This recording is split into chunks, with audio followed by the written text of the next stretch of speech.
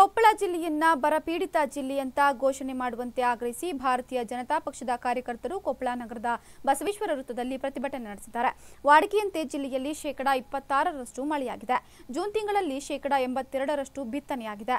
ಆದರೆ ಮಳೆ ಕೊರತೆಯಿಂದ ಬೆಳೆಗಳು ಸಂಪೂರ್ಣ ಒಣಗಿರೋದ್ರಿಂದ ಜಿಲ್ಲೆಯ ರೈತರು ಸಂಕಷ್ಟಕ್ಕೆ ಸಿಲುಕಿದ್ದಾರೆ.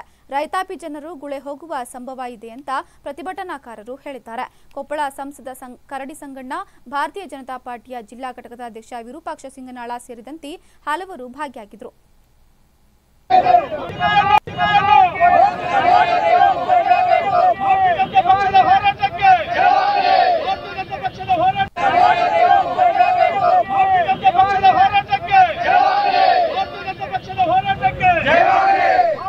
ಪಕ್ಷದ ರೈತ ಪರ